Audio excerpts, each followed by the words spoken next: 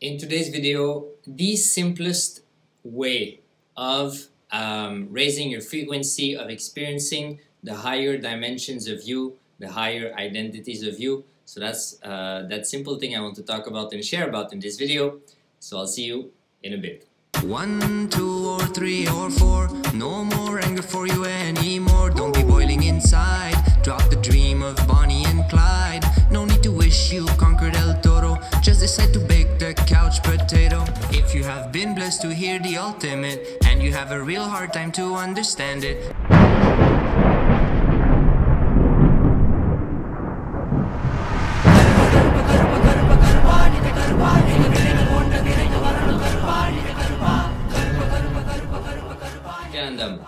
I welcome you all with love and respects and the blessings of my Guru, His Divine Holiness Bhagwan Shri Nithyananda Paramashivam.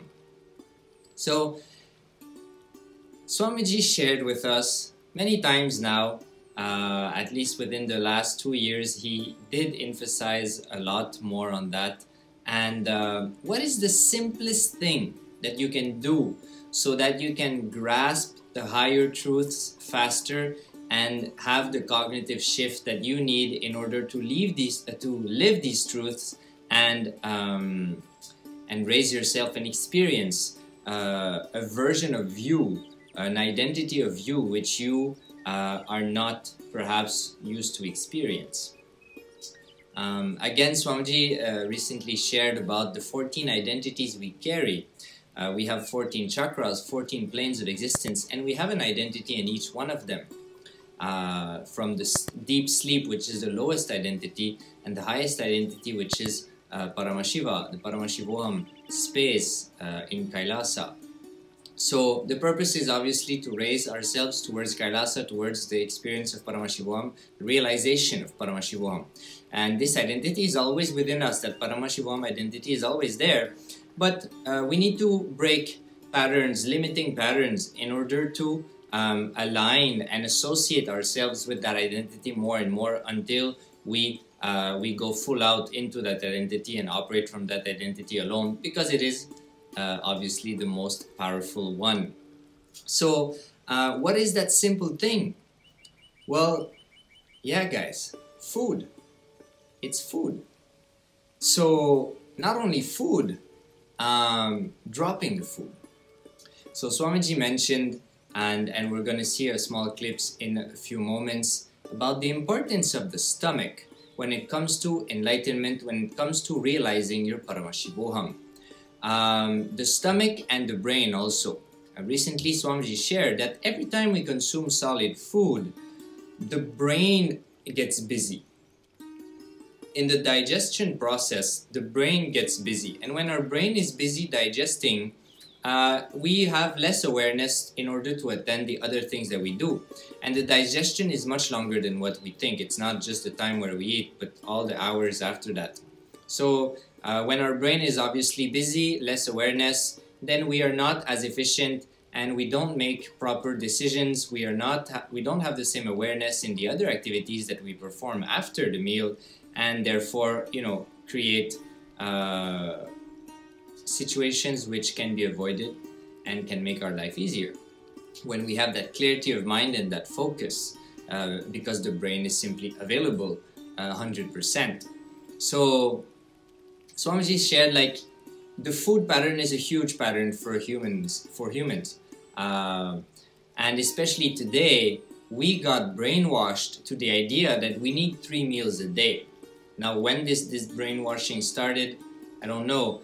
But definitely it is true that we're like, okay, I need my meals. If I don't have my meals, I can't function. This belief is very strong uh, in, in, in all of us. And, uh, but it is not the reality. It is not, uh, it is not the fact. Actually, the meals are actually um, reducing the frequency at which we exist. And it binds us also. You would have been caught in a situation where, you know, you have to do something but you're hungry and the hunger takes over and that's it. Nothing can be done. Hunger is priority and you can't focus. Emotions go all over the place. Thoughts go all over the place. I need my food you know? So it's an addiction also kind of. And um, Swamiji did share that uh, also that we have associated food to, to anger um, because anger sits in the stomach. So when you have that stomach ache, we were told that stomach ache means that you are hungry, but actually it's not true. As per the yogis in the yogi tradition, Swamiji was sharing that yogis will tell you that hunger is experienced in the throat. By uh, hunger means like when the body needs energy. When the body needs, needs energy, it will be experienced in the throat area, not in the stomach area. Whatever is experienced in the stomach area is anger related uh, stuff. So when you have this stomach thing, anger is uh, there in your inner space, whether you're aware of it or not, and you dump food on it. So like that, that eating habit reinforces that anger pattern, and we get caught into a vicious cycle where that anger keeps being repressed and all that, and it never leaves, and that energy is stuck inside of us, and it creates uh, various problems. So Swamiji, three, four days back now, Swamiji told us that one thing we can do is to, to detox uh, ourselves is to eat ginger water or whatever, consume ginger in whatever form we can. Uh, it helps to cleanse the liver. And uh, one of the side effects is regaining sight because when there's excess of fat in the liver, sight goes down. So when Swamiji said that, um, I decided to, yeah, to obviously implement it. So I started to drink that. And I can say that it's been four days now, or I say three days and a half, where I have not eaten any food. And not only food, I have not even drank nourishing drinks. Um, I've only been living on hot water, ginger, and maple syrup basically. So, and I'm not drinking that much. I mean, I do drink um, I don't know, maybe three times a bottle, which is like maybe 700 millimeters. And uh, I, I decided to be authentic with my hunger. Means I don't want to eat until I'm hungry.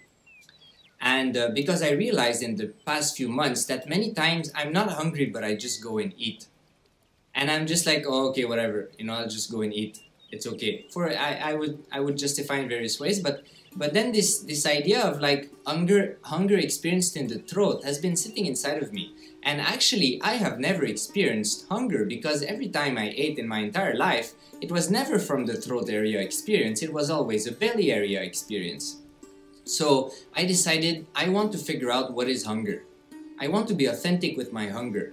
Uh, and and yeah, I mean it's been four days and I'm I haven't felt hunger yet uh, which is great, but it's a little bit uh, also shaking, uh, shakening. I don't know if that's a word, but uh, because I realize that sometimes I'm just like, oh, I want to have food, and I'm just like, and then I just listen, like authentic listening within myself, and I'm just listening to my stomach and say, am I hungry?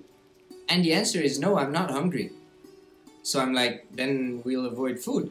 So like that, it's been happening for four days now and uh, it's great uh, in various ways. And uh, basically, what I want to share with you in this video is I, I would like to inspire you to uh, to experience that uh, in whatever way, uh, whatever way you feel comfortable with. So before I continue sharing this, let's have the short clip or few short clips of Swamiji sharing about the hunger and the stomach. If you feel I have a stamina, strength to digest all this kind of hate speech, lawfare, everything. Of course, I think even people who have enmity towards me non controversially accept that I have a stamina to withstand any of this kind of abuses, attacks. Listen. If you feel I have that stamina, if you want to know the secret of that stamina, I'll tell you simple. Very simple. Too simple. Stop eating. Whenever life need to be digested, stop dumping food in the tummy understand life is not digested in the head, life is digested in the stomach. Learn the truth. Life is created in the stomach, sustained in the stomach. Only thought currents are experienced in the brain. Strategies are done in the brain. But life itself is digested in the stomach. Whenever, whenever you are needed to digest life happening around you, just stop dumping food in your stomach. I strongly recommend these two items castor oil, haritaki powder. If you have strength and you don't bother about your tongue taste and all that. Even add neem juice. I am not saying you should drink liters and liters. Just 100 ml neem juice, neem leaf. Make it as juice. You can dilute it into half a liter water, no problem. Just from morning till night, 3-4 sip. Understand? Same way castor oil. 3 4 teaspoon maybe morning 1 teaspoon night when you before going to sleep 1 teaspoon. Please be very clear your experiences about life is as real as the solid food you eat. Don't think the life happening around you are just mental, psychological, and the food in your plate is solid, physical. No. Both are in same reality. When you are needed to digest that life happening around you, stop dumping food on your stomach. Understand? The Jataragni in your navel in your Manipuraka, Jataragni in your Manipuraka, digest life and food. When the Jataragni is dumped, overloaded, that is when, when the Jataragni is not able to finish, complete its responsibility, you feel depression. Depression is nothing but Jataragni overloaded. So, yes, Swamiji has clearly shared the importance of maintaining the stomach clean for various reasons in order to uh, conquer life, in order to overcome problems, in order to manifest powers, in order to manifest enlightenment. Now, um, dropping solid food might not be easy initially uh, you need to have you know certain inspiration and certain self-drive and a will persistence because you might go through ups and downs in the process and perhaps some different forms of support might be required for you to maintain that decision because the food pattern is a very strong pattern. I mean it can be broken rather quickly but you know that uh, ferociousness with yourself is required in order to uh, to just you know to just decide to break through this pattern so, um, so as you were sharing, even if you do something over six months, so first thing first is drop. Uh, so, see there, as per what I um, cognize of this whole process, there's different steps. Obviously, dropping the meat is the first step. If you're eating meat, that's the first thing you have to get rid of for various reasons. But meat is not helping you at all in in all levels, and uh, even uh, yeah. So meat uh, meat is the first level of, of detox that needs to uh, happen.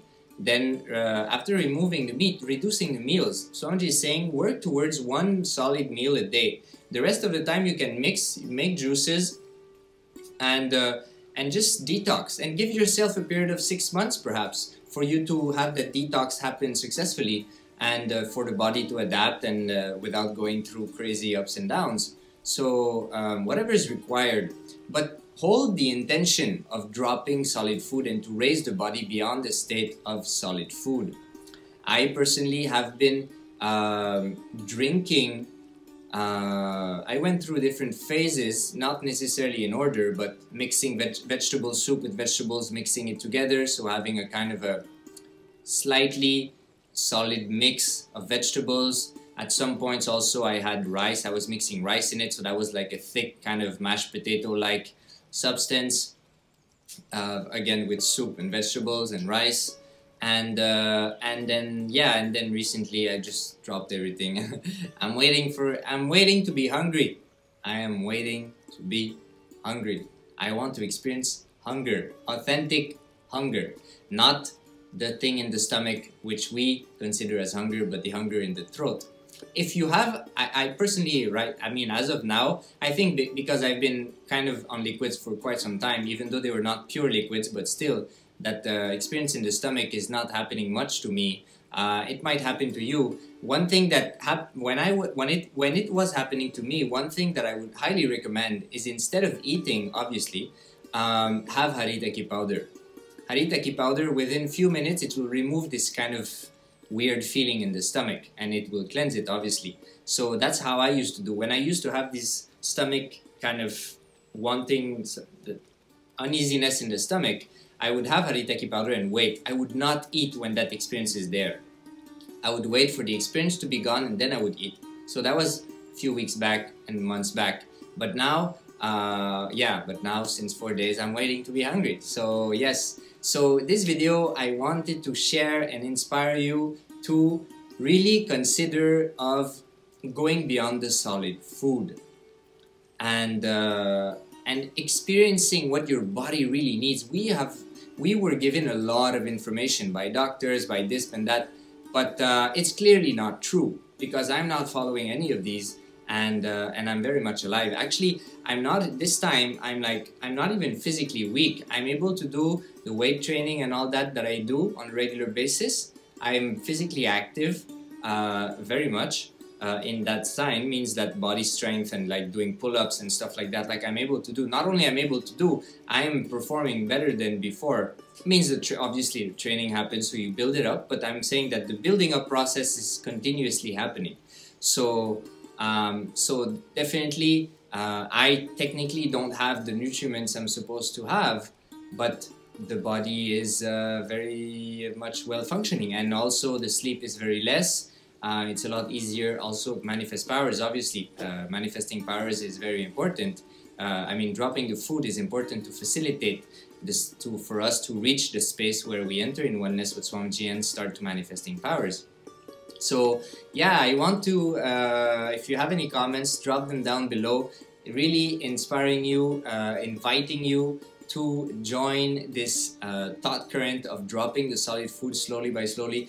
Going organic also. So first is dropping the meat then is going organic and then going to uh, you know less and less uh, solid food more drink like and then going towards uh, just pure liquid like means no no form of residues inside and then uh, and then yeah see where it leads you but definitely uh, it is very helpful on the spiritual path it is very helpful in order to uh, to handle ourselves also um, I did go through through periods where I, I had like intense energy inside the body, like intense heat. It was like crazy. But I just sat and unclutched and just allowed that heat to happen. And, uh, you know, after a few hours, it went away. And so these experiences were there. Very energizing experiences, actually, because, and, uh, and yeah, as, as these, that, that heat experience happened, I think, two days back after two days of just liquids or one day and a half of just liquid. So you might have these experiences, but you don't panic. You just sit and clutch. Of course, if you really feel something is off, then you, you know, you adjust. You don't go all crazy fanatic on it. So you obviously were responsible of the, you're responsible of the decision you make. So uh, don't make stupid decisions. Listen to yourself and kind of, you know, we, we have to rediscover uh, how to listen to ourselves authentically not as per what we were taught because a lot of things is fear based right? Oh i was told that oh my god if i don't do it i might have a problem. I don't want to have a problem so i won't do it. So the, this kind of thought these kinds of logics uh, should be uh, put aside and uh, let's experience authentic listening with our body. So uh, it is very important to have a healthy body, clean body, detoxed body in order to uh, experience the higher identities uh, that we have but that we don't necessarily tap into. So that being said, uh, thank you again for watching. Subscribe, like, leave a comment below. Uh, share your experiences if you have been on a liquid diet and all like that. Of course, Nirahara Samyama is always available. You can check the website. I'll put the link in the description below. BeFoodFree.org. You can have a lot of information. Swamiji has talked about it a lot. And uh, I'll put the links of Swamiji's full discourses also below. So, uh, yeah, guys. So, inviting you to explore this. Give yourself time if you feel like, oh my God, it's too much, it's overwhelming. Give yourself time, but move towards it. Have that will persistence towards manifesting that. So thank you for watching. Listen if your anger is as vast as the world And it's hard to conceal it with pearls this powder, it'll make you swirl. Haritaki, Haritaki Haritaki is my secret little tip for you. This powder is all you have to do. One, two, or three, or four. No more anger for you anymore. Don't be boiling inside. Drop the dream of Bonnie and Clyde. No need to wish you conquered El Toro. Just decide to bake the couch potato. Listen if you feel dull inside. This powder will bring you back to life Increase the oxygen inside of your body And remove the toxins from your tummy